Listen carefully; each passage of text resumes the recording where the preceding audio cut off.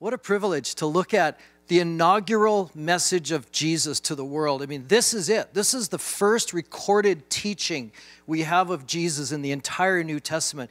And inaugural messages are important because they set the tone they give the vision, they lay the foundation for everything that he is going to do and build on in terms of his kingdom ministry in the next few years on earth. So that's why these words are so vital and under and, and valuable to our hearts that we need to take them in and understand them. And you know that we're focusing on the Beatitudes, verses 3 through 10 in Matthew chapter 5, which we learned last week are eight identifying characteristics of a true kingdom follower of Jesus. We're learning that the Gospel of Matthew is the gospel of identity.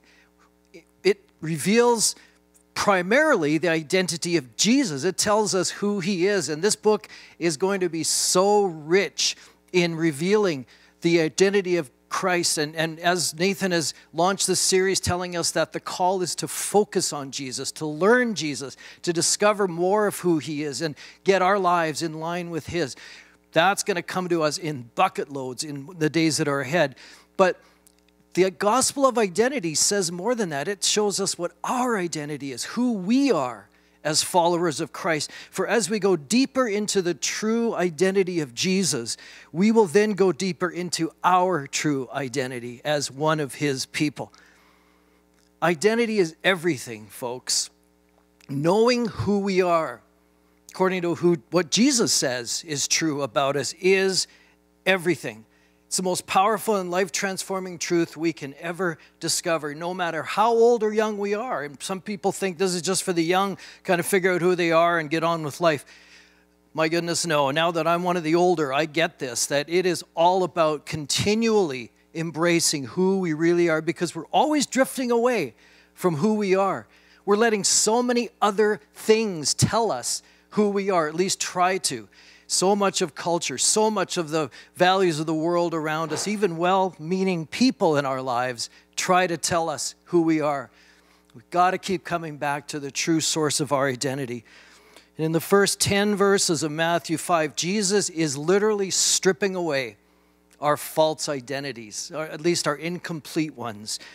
And that can be a painful process. Believe it, but it's necessary. And he's helping us understand and embrace our new and true identity as his follower in this new and radical kingdom of God that he has come to inaugurate.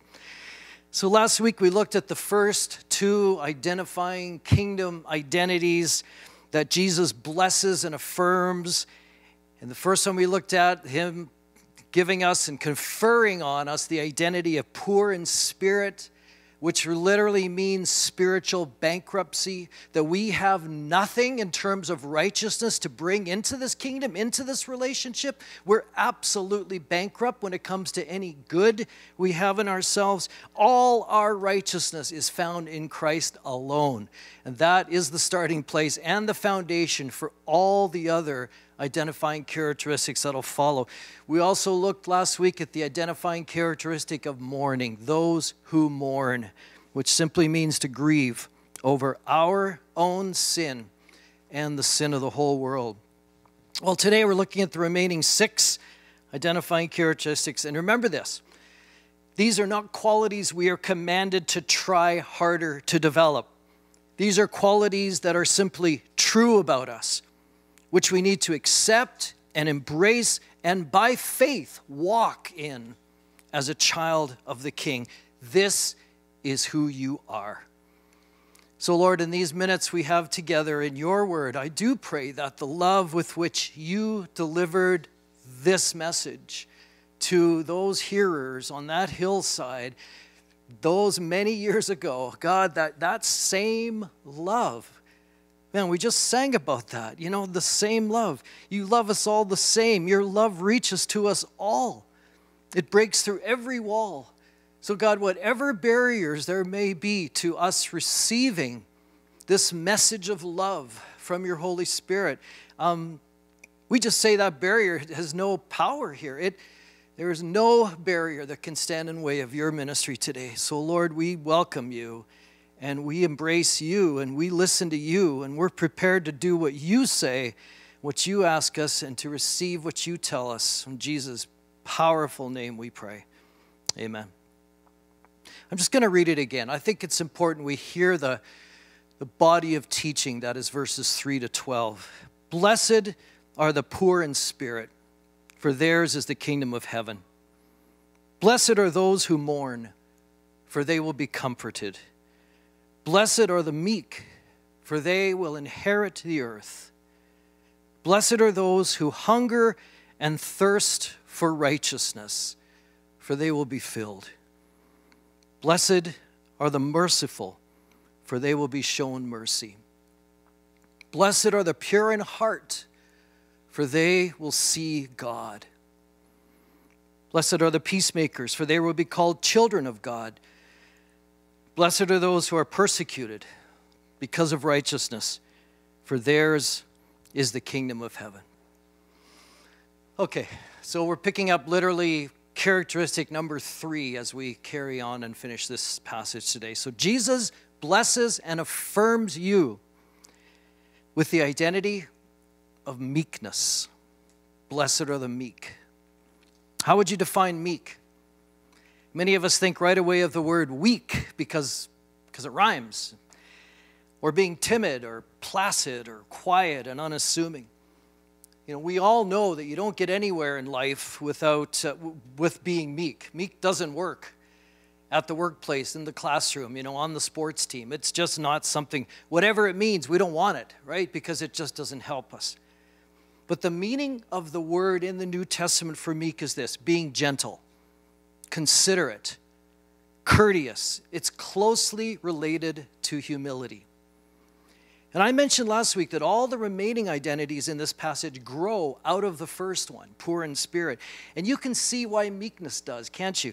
If there's nothing in me that makes me righteous in God's sight, nothing in me that earns God's approval, nothing in me that gives me reason for pride or self dependence, then how can I put myself ahead of others?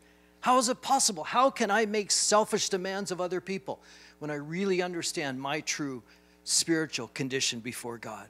Rather, since God has shown me such undeserved goodness and kindness and love, then I want to treat people exactly the same way with meekness. If you look at some of the biblical examples of meek and humble people, such as Moses, John the Baptist, Jesus, you discover that meekness is actually power under control. Think about that for a minute. Power under control. There was nothing weak about those three people that I just mentioned, but their great strength was controlled by their greater humility and meekness. And the promise is the meek will inherit the earth. Now, this is a direct quote from Psalm 37, and it means to dwell in the land. In other words, the promise is that if you live as a meek person, you'll be given a place to live in the good land that the Lord is promising you, which is the place of His blessing, the place of His care and His protection and His provision here on earth, but ultimately in heaven. So, child of God, true kingdom citizen, meekness is who you are. Question is, how are you living it out in everyday life? How willing are you to choose the path of meekness instead of pride and self promotion? Next, Jesus blesses and affirms you with the identity of those who hunger and thirst for righteousness. So, what's it mean to hunger and thirst for righteousness? Just as clear as that. An intense longing for God Himself and His righteousness alone. Hungering and thirsting for righteousness is so beautifully described in Psalm 42. You know these verses. As the deer pants for streams of water, so my soul longs for you, my God. My soul thirsts for God, for the living God. When can I go and meet with God?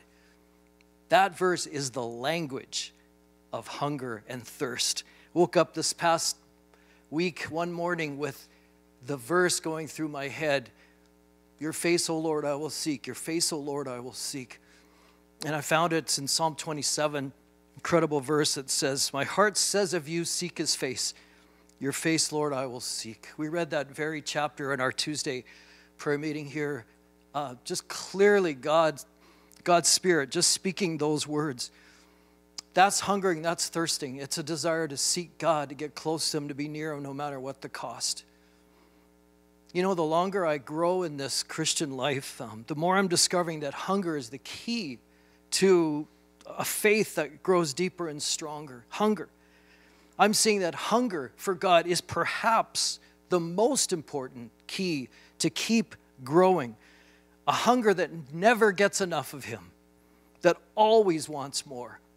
A hunger that is filled only to discover that the fullness leads to more hunger. It's just this ever increasing depth and cycle that goes on. You're hungry, hungry for God. He feels you. You get more hungry for God. He feels you more and more and more. That's what it takes to be a growing follower of the Lord. Never satisfied. That's enough. You know, I got enough. I'm good. But it's always desiring more and more of Him. Came across this great quote by a guy named J.N. Darby.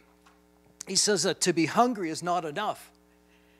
I must really be starving starving to know what is in God's heart toward me.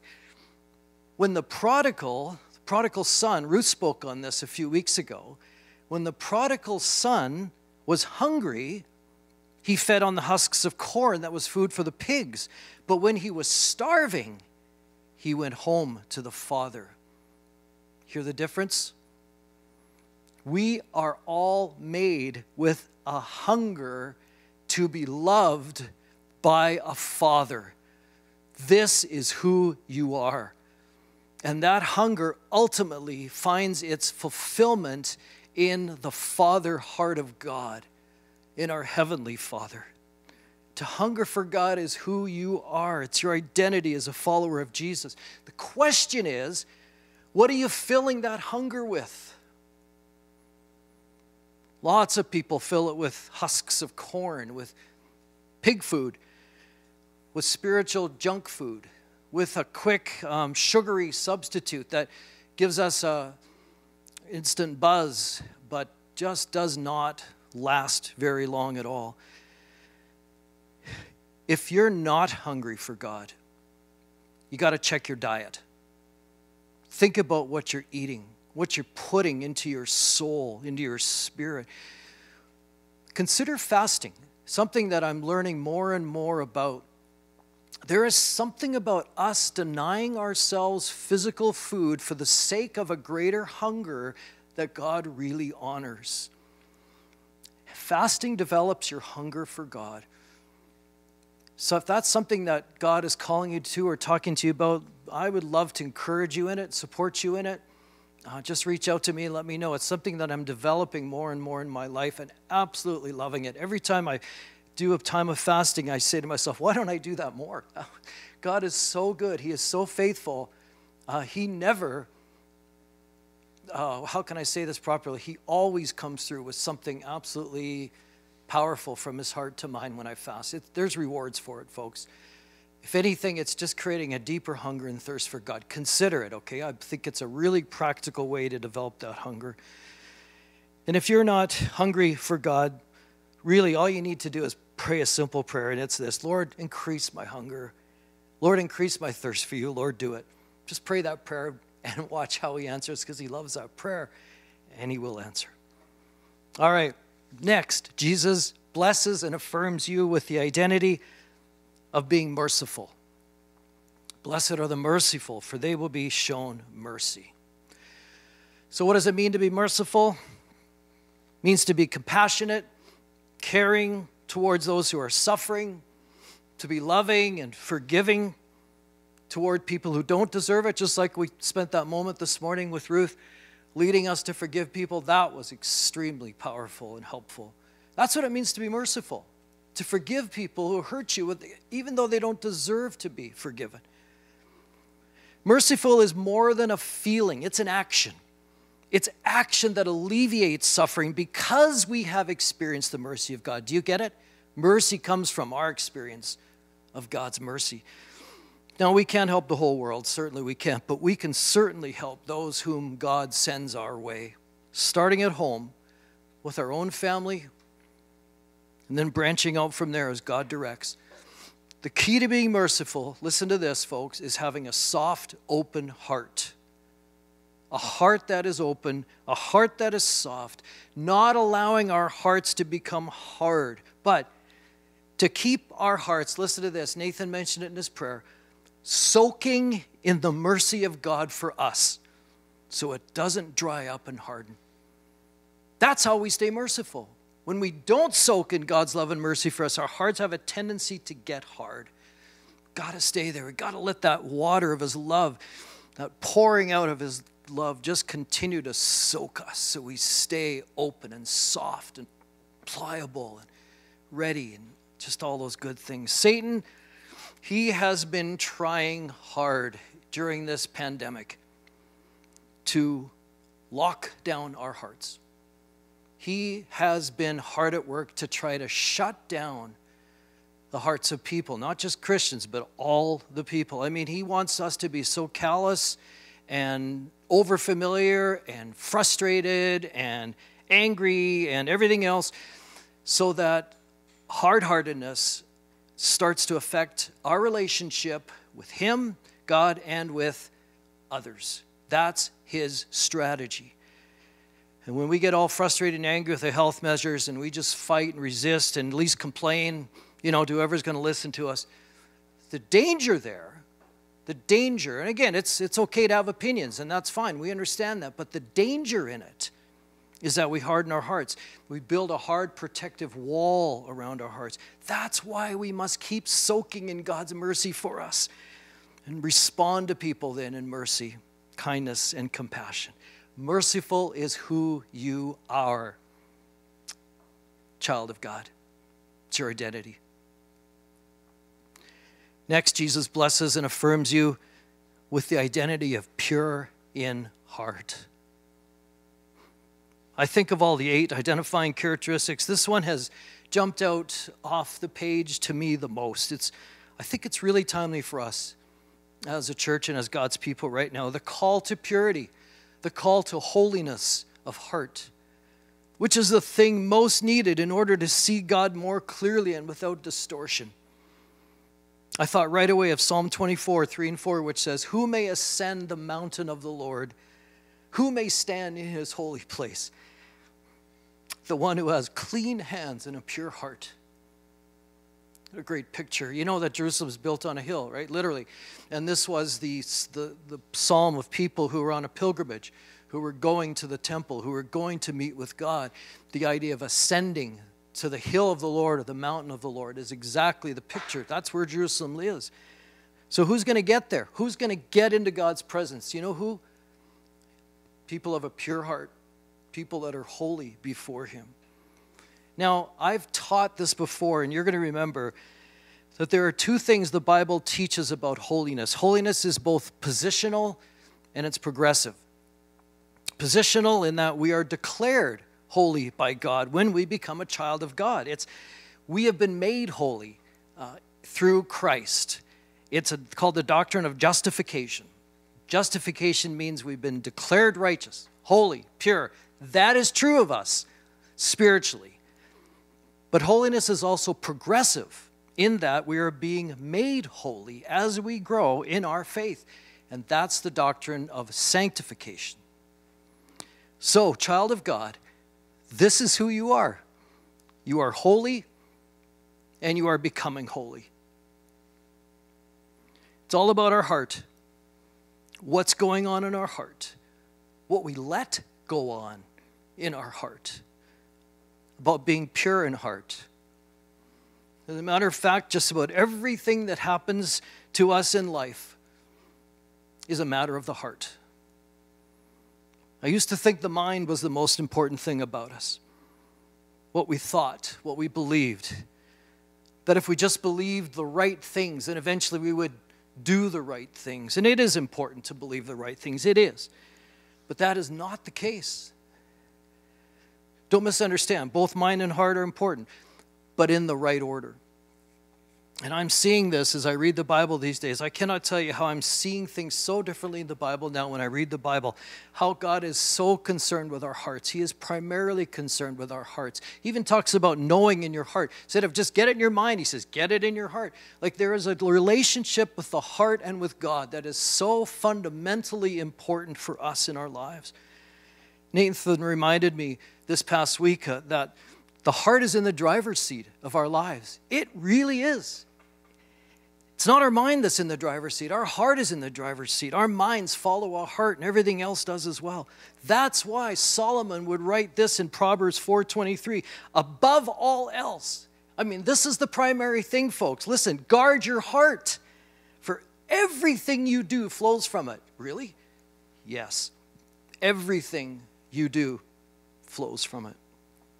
We live out of our hearts even if you consider yourself a thinking person, you know, not a feeling person, what is in our hearts actually determines what we do. And verse 8 says that the pure in heart will see God. I cannot tell you how exciting that is. The promise just, I don't know what it does to me. It just makes me come alive, motivates me, creates something in me that I can't describe to you. The ability to see God. You want a reason for this, here's a good one for you a reason to choose holiness, a reason to choose purity, a reason to go deeper in your life that really just, just want everything to belong to you, Lord. I just surrender to your Lordship. You want a reason for that? You get to see God.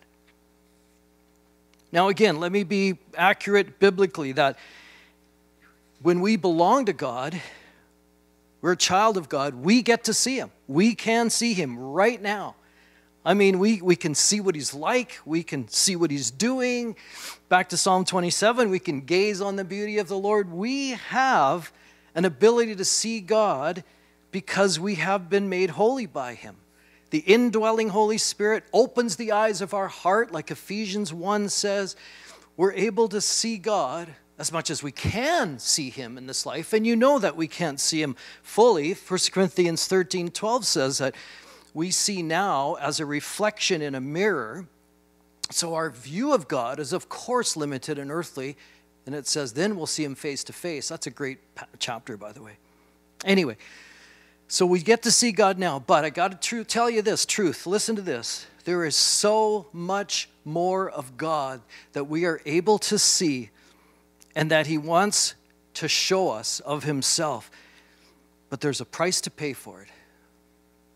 There are some things that can only be seen by those who are willing to pay the price of purity, holiness, to draw near to God, and to let Him reveal deeper and more amazing things. I was on a personal prayer retreat about a month ago, went to Star of the North Retreat Center in St. Albert. And um, I've gone there quite a few times just for the day.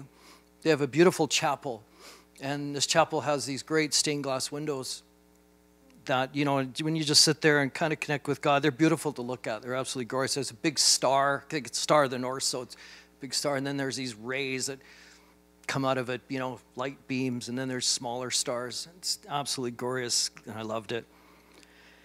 And it, it looks nice from a distance during the day. I mean, the North Star is always bright from the outside light, the smaller ones are, are more dull. And then I realized something as I was sitting there looking at it. That's how some of us as Christians live our spiritual lives at a distance from God. Kind of sit back and we admire Him. Oh, He's great. You know, He is awesome. God is so good. And He is. And we have a relationship with Him, but at a distance. But I never stayed there in the nighttime. I never was there in the, when it was dark out. So Went back into the chapel at night, and everything changed. Let me tell you how. The window was now lit up from the outside. There was floodlights out there shining into the chapel from the outside, and it just changed this stained glass window in a beautiful way.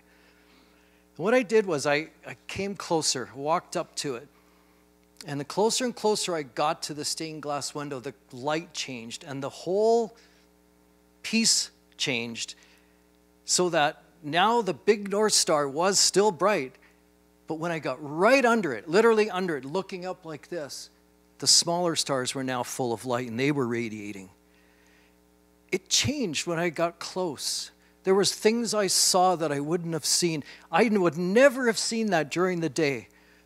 But when I came at night, but then when I came really close, I saw things I had never ever seen before. And God reminded me of Isaiah 45 verse 3 that says, "I will give you treasures hidden in the darkness, secret riches." How do you get that stuff? You get it when you draw near to God with holiness and purity. That's the gift He wants to give us all. Oh, and by the way, the rest of that verse, which we don't often quote, he says, I will do this so you may know that I am the Lord. That's what he wants. Just wants us to know him better. Just to get connected with him in a deeper and deeper way. That's his call. What a beautiful promise. Blessed are the pure in heart, for they will see God. So the question is will we pursue a deeper purity of heart so that we will see God more clearly? Yes, yes, yes is all you need to say to that question. Pure in heart, this is who you are. Two more. Jesus blesses and affirms you with the identity of peacemaker. And this identity of ours, it is so important and needed right now in this climate of tension, turmoil, the anxiety and conflict out there to be a peacemaker instead of a disturber, peacemaker instead of an agitator. And how do we make peace in our world? By being at peace within ourselves. And how do we find peace within ourselves? By finding peace with God, like Romans 5:1 says, through our Lord Jesus Christ. And then we're able to share that peace with whoever we run into. Actually, not, you don't even need to say a word. We exude it. It's like that, those little stars on that stained glass, you know, they, they glow. There, there's light in them. And when we just live our life, connect with people, we exude peace. And that is a powerful ministry. But we can take it a step further.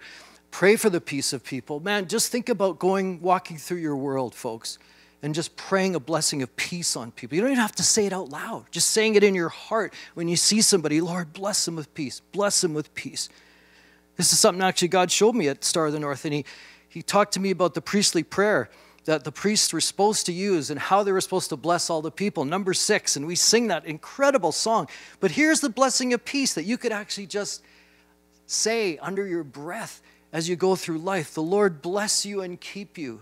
The Lord make his face shine upon you and be gracious to you. The Lord turn his face toward you and give you peace give you peace, give you peace. Oh man, that, that's being a peacemaker. Let's do it. Let's do it because that's who we are.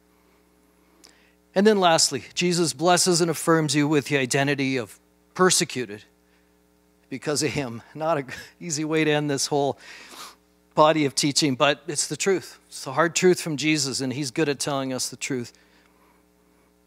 You know, if you if you know and you live according to your true identity as a kingdom person, as a follower of the king, and I mean really live it, I mean really live it, okay? Like that we really go for this, then guaranteed you're going to experience persecution.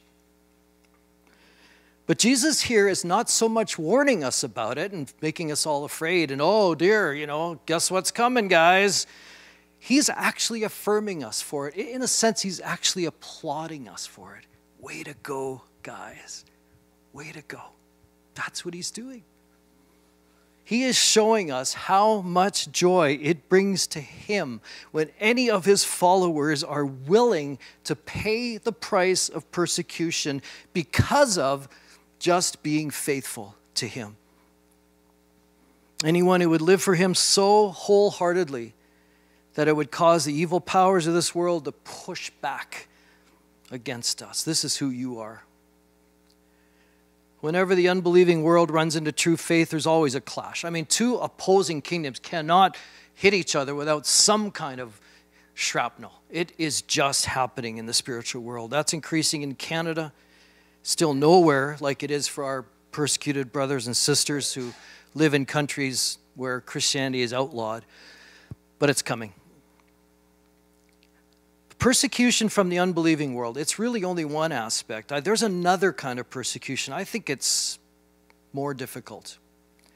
And I believe this is the kind of persecution Jesus had in mind when he first spoke these words, and that is persecution from the religious world, even from God's own people. I get this from the way verse 12 is worded. As he, Jesus says, For in the same way they persecuted the prophets who were before you. Who are they? It's obviously the religious system and its leaders, the Pharisaical uh, religion of works and performance that Jesus came to challenge and to offer true living faith based on grace. A religious spirit hates true faith, hates it. Some of the worst criticism and attacks and hatred I have ever seen come from people who call themselves Christians and who don't like those who challenge the status quo with their faith, with their passion, with their boldness with their love for Jesus, with their wholehearted devotion. And that hurts the most when this persecution comes from people who should be on the same team, part of the same family. I've experienced it. Many of you have. Some of you are experiencing it right now. So here's why you can rejoice and be glad when you are persecuted for Jesus' sake, because here's the reasons he gives us Jesus calls you blessed you have his approval and affirmation. Secondly, it proves you're genuine. You're the real deal. You're an authentic follower of the king.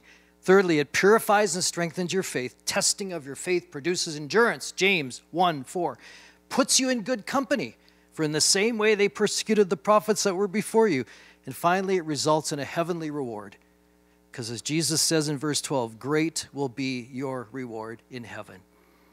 Now, all of that doesn't necessarily make persecution any easier but it sure gives us a heavenly perspective on what is happening to us.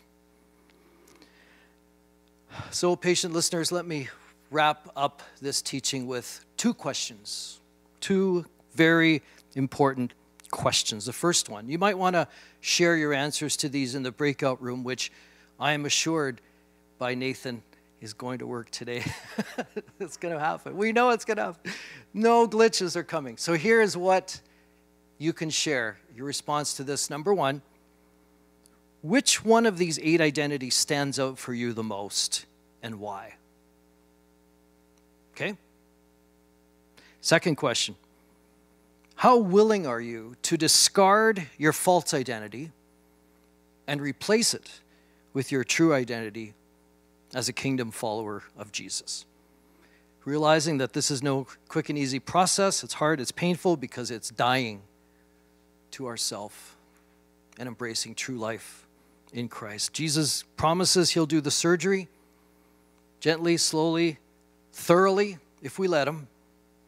And over time, we're going to start to see a new identity taking shape, changing the way we behave and the way we relate to God and to others. So, if you want to start that process and get on the operating table, here's another simple prayer, which I'll close with Jesus, show me who you are so that I can know who I am. In Jesus' name, amen. Love you guys so much.